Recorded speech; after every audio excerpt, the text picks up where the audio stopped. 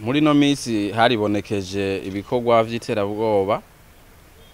E, muri ino minsi haribonekeje ububisha bw'iterabwoba ngaha mu gisagara ca Bujumbura. Twagira ngo tubugarukeko tunabamenyesha naho amatohoza ageze kuri bwo. Duhereye ku vyabaye ku munsi w'ejo. E, duhereye ku vyabaye ku munsi w'ejo igenekerezo rya cumi z'ukwezi kwa gatanu uyu mwaka w'ibihumbi bibiri na mirongo ibiri na kane e, mu gisagara ca Bujumbura. Hahoze isoko nkuru y'igisagara ca Bujumbura.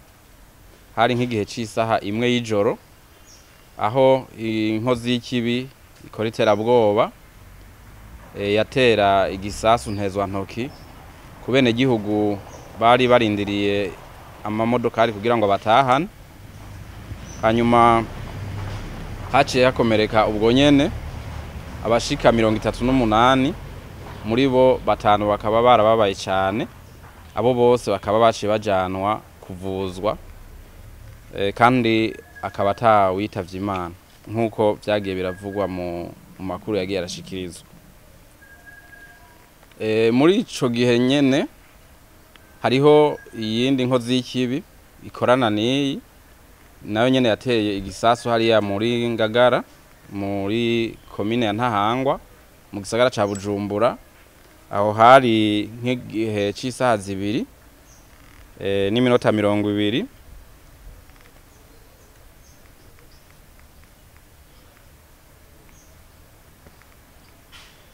E, mu- muri ico gihe nyene hariho iyindi nkozi y'ikibikorana n'izi. Yateye ikindi gisasu ntezwa ntoki hariya mu ngagara hafi y'aho babika igitoro hitwa libajas aho iyo ico gisasu ntawe ntawe nta ntawe hakomerekeye ariko wari agiteye wenyene caramukomerekeje ngira mu- mwamubonye mubona akomeretse ku maboko yose ko yaciye afatwa afatanwa n'igisasu kigira kabiri yagomba kandi atere. Hanyuma eh, acabanza kujanwa kwa muganga. Murabona ko agitengatiye amaboko agihambiriye ibikomere no kuvuga yuko eh, abajijwe umutekano bamufashe. Baciye ba, ba, nubwo we ye- gu- kumara inganda ah, kubera umutima w'ubuntu eh, no gukora akazi gihinga abajijwe umutekano bihutiye kubanza kumujana kwa muganga. Niwe wuyu mwabonye. Ubu rero no kuvuga ko yafashwe ahajije gutera igisasu ca mbere afise n'ikindi mu eh, ububisha bw'iterabwoba bugira kabiri eh, ni ubwabaye igenekerezo ya gatanu ndamuki Ru- rusama igenekerezo rya gatanu rusama uyu mwaka nyene w'ibihumbi bibiri na mirongo ibiri na kane aho nk'igihe c'isaha zibiri n'iminota mirongo ibiri z'ijoro abandi babisha bari muri uwo mugwi nyene e, bateye igisasu ntezwa ntoki. Hariya mu Kamenge e, ku kirabu bitwa bita Bar du Peuple. Ni ikirabu kiri imbere ya Paroisse Guido Maria Conforti ka- Paroisse Katolika yo mu Kamenge. Aho aho nyene e, bahateye ico gisasu bongera baratera n'ikindi ariko kitaturitse. Eh, bari bahateze n'ikindi ki, bombe zimwe bikorera bita molotov. Naco nyene ncaturitse aho rero hakaba hari abenegihugu bashika kuri batandatu baciye bakomereka. Umwe mbere bamaze kumushikana mu bitaro yahavuye asandaba ku- kubera ibikomere. Ubundi bubisha bugira gatatu ari nabwo bwahereweko n'izi nkozi z'ikibi ni ubwabaye igenekerezo rya mirongo ibiri na kane z'ukwezi kwa kane umwaka w'ibihumbi bibiri na mirongo ibiri na kane hariya mu ngagara muri karitiye y'icumi aho nk'igihe c'isaha imwe n'igice eh, abo babisha bakoresha iterabwoba bagerageje gusambura ivyuma eh, vy'umuyagankuba bita bita transformateur bibiri. Eh, kimwe akaba arico cononekaye cane. Naha nyene uwariko arabikora yaciye afatwa ni uyu twaberetse. Akaba amatohoza yaciye abandanya baranamufatana n'ibindi vyuma eh, yari gukoresha mu gusambura ibindi vyuma vy'umuyagankuba nk'ivyo. Eh, inyuma rero ya buno bubisha bw'iterabwoba inzego zijejwe amatohoza zaciye zikora akazi kazo nk'uko zama hanyuma zirashika ku guhagarika aba babisha tuberetse bashika kuri batandatu.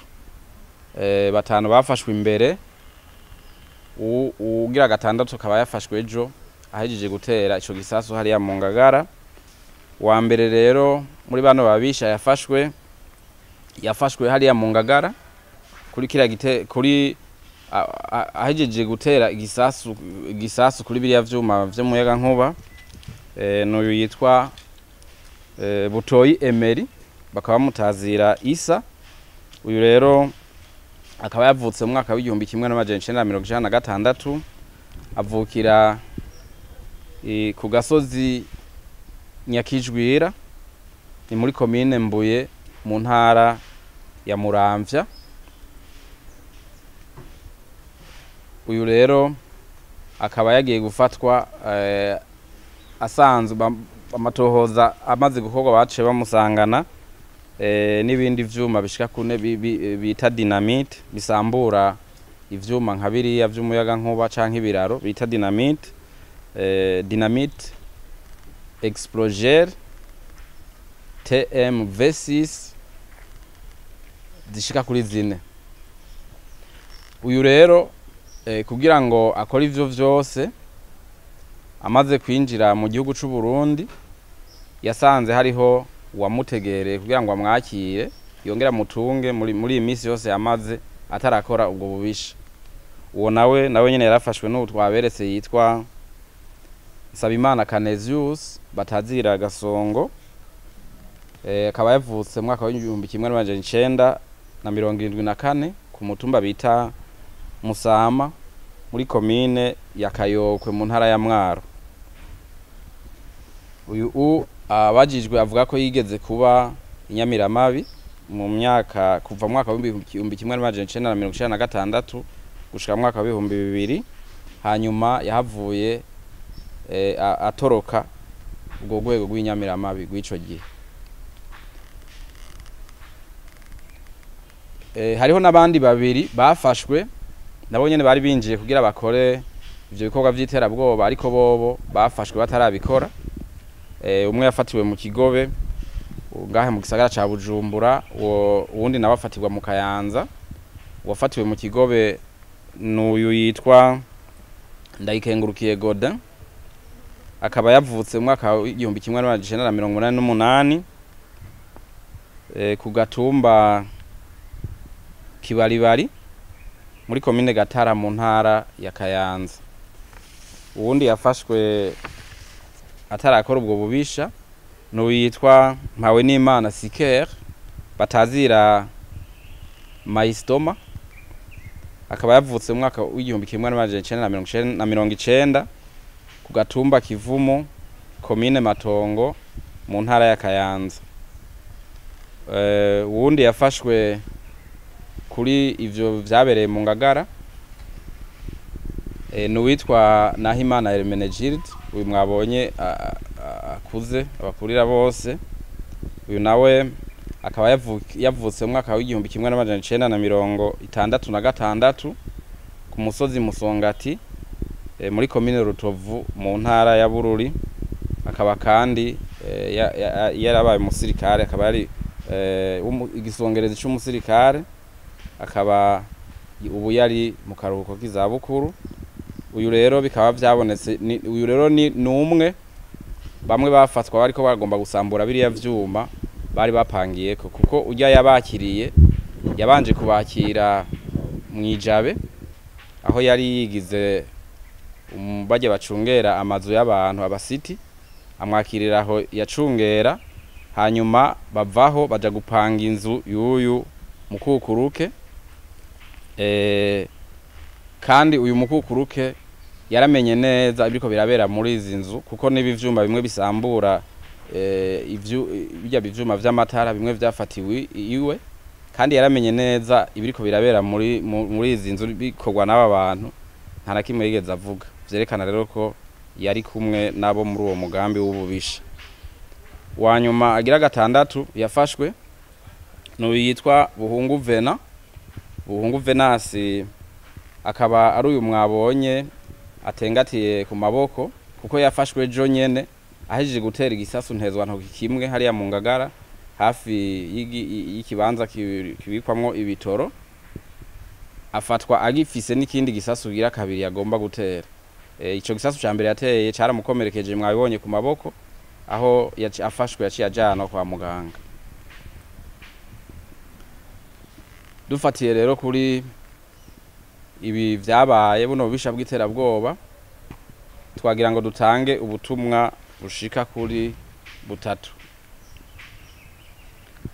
Ubwa mbere na mbere twagira tumenyeshe yuko eh, dufatiye ku matohoza amaze gukorwa n'ivyo abanyene bafashwe bivugira. Eh, bano bantu bategurirwa mu gihugu c'u Rwanda. Ni ukuvuga ko binjizwa bakigishwa iterabwoba.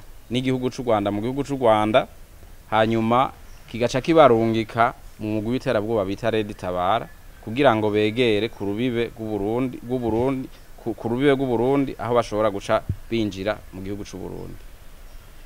Iyo baje rero murumva ko hariho ababakira baba baramaze kwitegura kugira babakire bakabatunga. Mbere urumva ko babapangira n'amazu. Aha mbere twamenyesha yuko nk'uyu yitwa uyu yakiriye ujya yateye ibyo bisasu vyo kuri mu ngagara ku vyuma vy'amatara ujya yamwakiriye inyamiramabi zigiye kumufata yari afise na telefone yaciye yandika ubutumwa bwihuta yandikira umuntu bita Pacifique Ninahazwe musanzwe muzi yuko kubera ububisha amaze kwagirizwa ivyaha bikomeye vyo guhungabanya agati na muntu ngaha yaciye ahunga ariko murazi neza yuko yamaze no gucirwa urubanza. Yaciye amwandikira rero ubutumwa bwihuta amubwira ngo "Ehe, ngo bwa bundi baramfashe ngo bwa bundi baramfashe ngo urara uzomvugire ubwo butumwa n'ubu buracari muri iyo telefone yafatanywe abariko baratohoza bufise ngaha.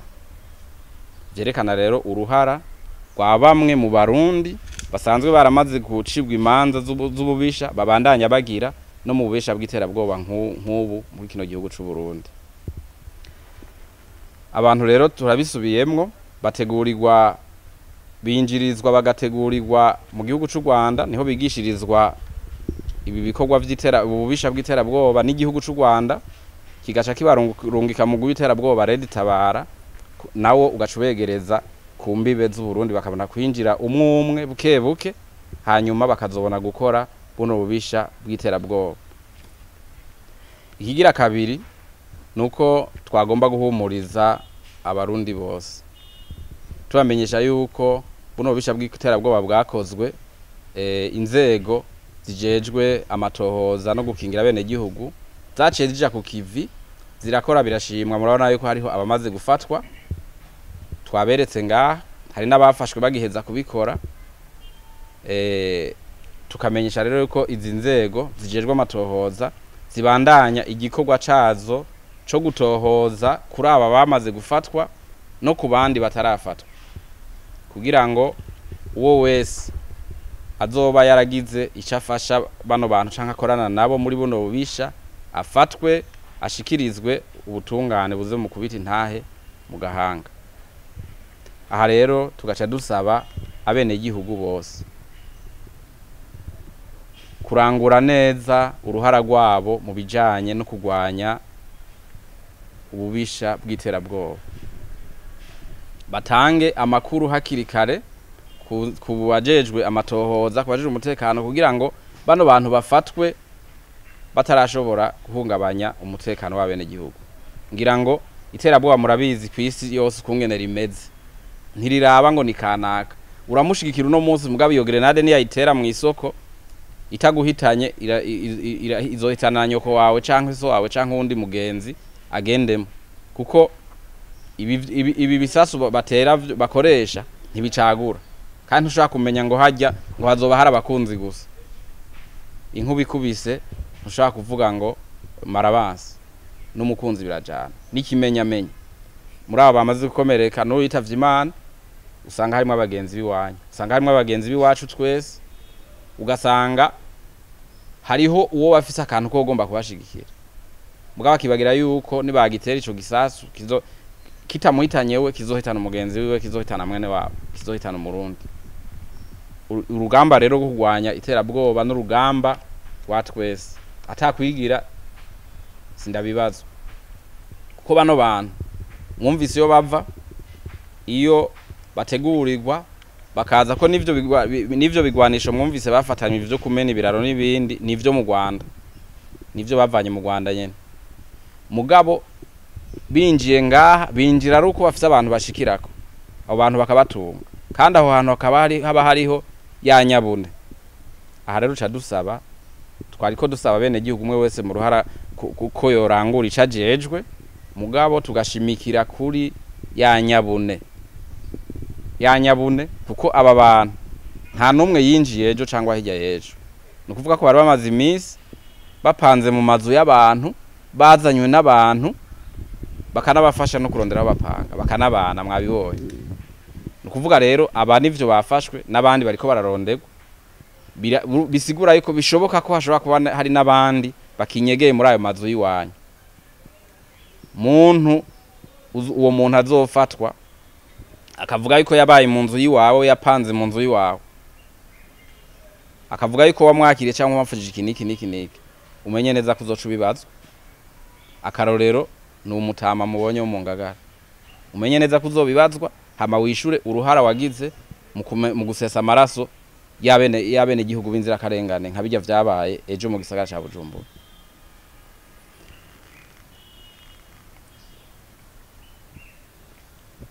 Tworangiza rero dushimira abene gihugu bashoboye gutanga amakuru n'ingoga kuri buno bubisha bwose kuko hariho abene gihugu batanze amakuru yafashije abajejwe umutekano gukora eh, neza ibikorwa vyabo gutyo izi nkozi z'ikibi eh, z'iterabwoba zibona gufatwa. Tukabasaba shimira rero twongera tubasaba kubandanya nk'uko dusaba n'abandi barundi bose. Abo bantu mubona aho mubaye ku mitumba mu makarti mukabona ni bashasha. Canke bahamaze iminsi mikeyi mube muzi neza ivyabo. Bwa mbere ho babe banditswe muri ya makaye hanyuma mubazi neza muzi neza n'ivyabo. Kuko amaze gufatwa. Akavuga ko yari yabaye ngaho iminsi nini ntuzoza gusigura ibindi. Wewe uzoca ufatwa nk'uwashigikiye inkozi y'ikibi mu kuyiha indaro n'aho itegurira no mu kuyikinjikira n'aho itegurira ububisha bwo gusesa amaraso y'abenegihugu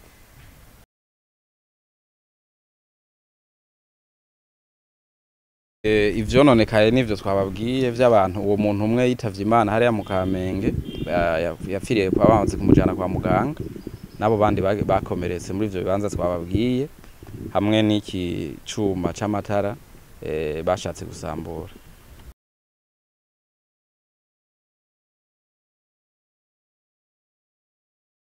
Nibaza ko bakurikiranye neza ivyo twavuze. Eh, twa- twavuze neza yuko umwe yaciye afatwa. Eh, afatanwa n'igisasu kimwe. Tuca tuvuga ko amatohoza ariko arabandanya.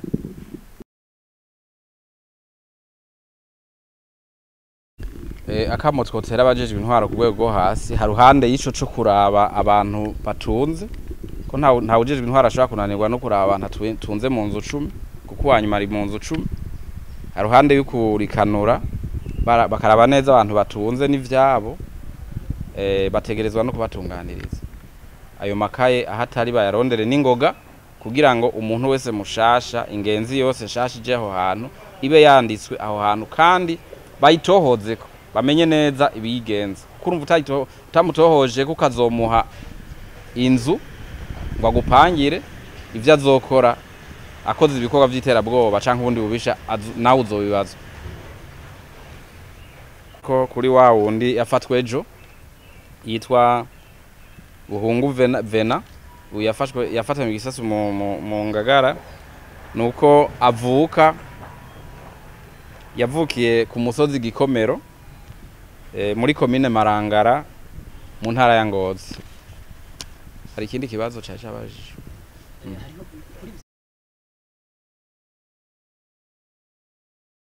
nagusavye ubu nari nagusomeye ubutumwa bamwandikiye nibaza ko urumesha amakuru ubona uruhara rwiwe.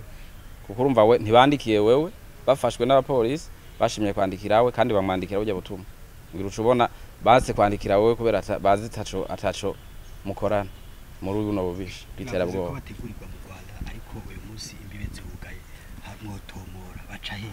twababwiye yuko batinjiye ejo cyangwa hirya y'ejo. Ni ukuvuga yuko hariho abinjiye baciye ku mbibe uburundi buhana na bino bihugu. Hariho abinjiye imbere yuko ziriya mbibe z'u rwanda zugagwa hari n'abinjira baca ku zindi mbibe zitugaye eh, z'uburundi uburundi buhana n'ibi- n'ibindi bihugu. Gutomora neza. Yuko nibaza yuko eh, a- i- ivyo twababwiye bijanye n'aho amatohoza ageze bitomoye twababwiye ko bano bantu barakorana ni umugumwe umugumwe turakubwira ko ku vyabaye ejo uwafashwe nu- n'urya yafashwe twakubwiye n'aho yafatiwe. Duca tukubwira yuko amatohoza abandanye. Kano bagumye bakora bene igihugu bagumye bakora eh, nihafatwa abandi bikaba ngombwa ko tuba- tuba- tubahamagara nk'uko tuzoheza tubahamagara